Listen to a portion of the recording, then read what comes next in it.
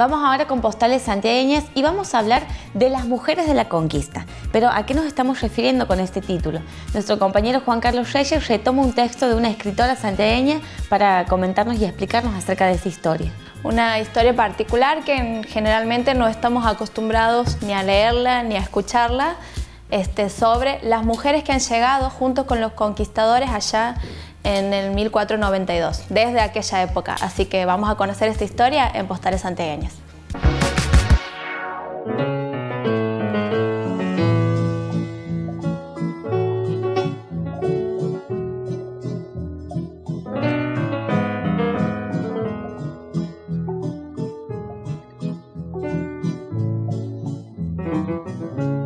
Muy buenas tardes. La conquista de América resultó ser una empresa sumamente difícil de la cual no solamente participaron hombres, también hubo valientes mujeres que junto a los soldados sufrieron penurias y más penurias.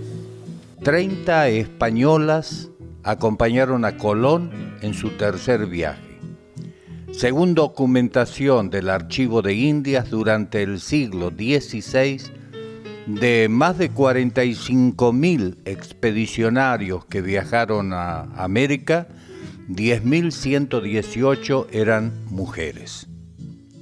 María Álvarez de Toledo y Rojas, por ejemplo, fue la primera virreina consorte de las Indias por cuanto estaba casada con Diego Colón, hijo primogénito de Cristóbal Colón. Fueron mujeres que lucharon a brazo partido contra todas las adversidades, llegando a empuñar espadas para defenderse del agresor. Catalina de Erauso, por ejemplo, era una monja que abandonó su convento en España vestida de hombre para viajar al Nuevo Mundo y combatir como un soldado más de infantería en los reinos de Perú y de Chile.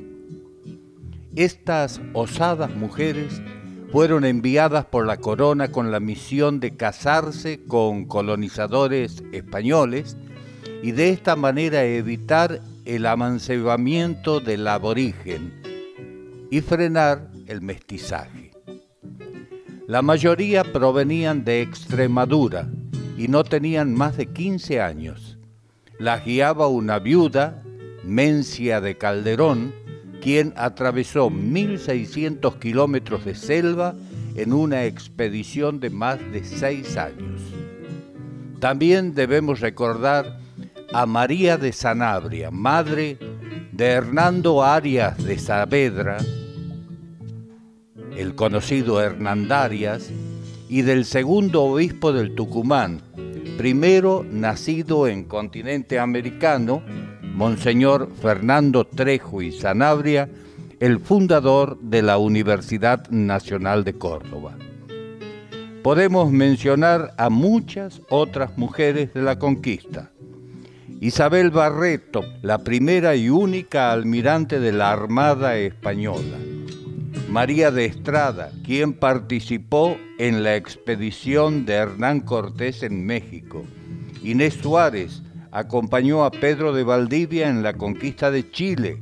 Beatriz de la Cueva fue gobernadora de Guatemala. Diego de Almagro supo pasar por el norte argentino y tras cruzar los Andes llegó con su expedición al valle de Copiapó, Chile. Entre los indios y negros que traía venían varias mujeres, pero debemos destacar la presencia de una, Malgarida, una esclava liberada, leal al magro, la fiel sirvienta de color que fue capaz de tomar el cadáver de su amo ajusticiado y enterrarlo en la iglesia La Merced del Cusco. El protagonismo femenino en el primitivo Santiago del Estero fue tema magníficamente tratado por Fina Moreno Sarabia en su libro Historia de Mujeres, posteriormente una publicación en el diario Liberal con ilustraciones del plástico bandeño Escrimini.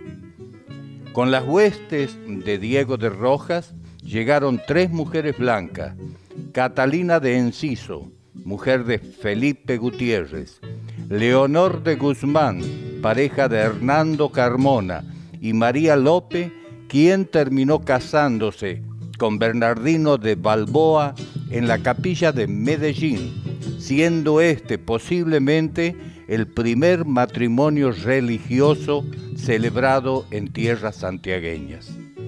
Con la expedición de Núñez del Prado no se registra el arribo de mujer blanca, sí de indias, y es de suponer que de sus vientres nacieron los primeros mestizos de la nómade ciudad del barco.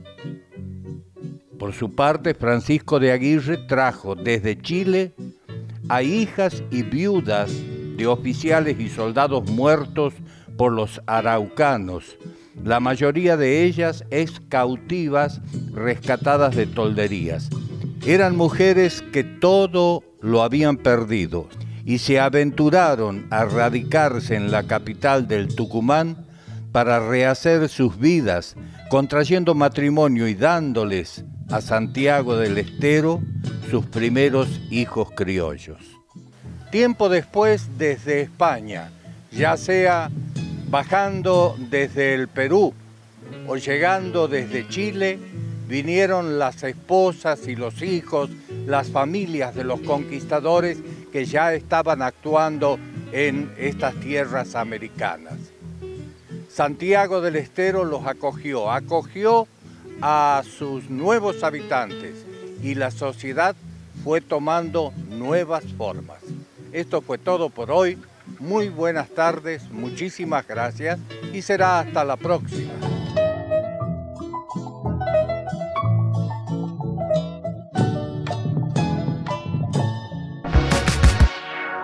Hemos llegado al final de este Portal 11. Hemos tenido muchos contenidos, hemos aprendido sobre la profesión del agrimensor, hemos conocido sobre deportes y un poco de historia como siempre que te ofrecemos aquí en este programa.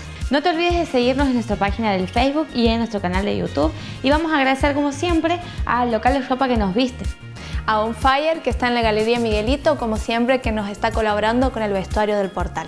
Y a ustedes muchas gracias por estar ahí. Esperamos que nos sigan por Facebook y que hagan sus comentarios y sugerencias. Tenemos saludos para mandar. Un saludo a Félix Herrera, que nos ha dejado un mensajito por la página de Facebook que quiere que le mandemos un beso desde aquí. Muchas gracias por seguirnos, Félix. Y bueno, y te, y te deseamos lo mejor y bueno, que sigas viendo el programa. Y a vos te agradecemos por estar ahí siempre del otro lado acompañándonos en este programa que tiene mucho contenido de nuestra universidad. De tu universidad. Nos vemos la semana que viene.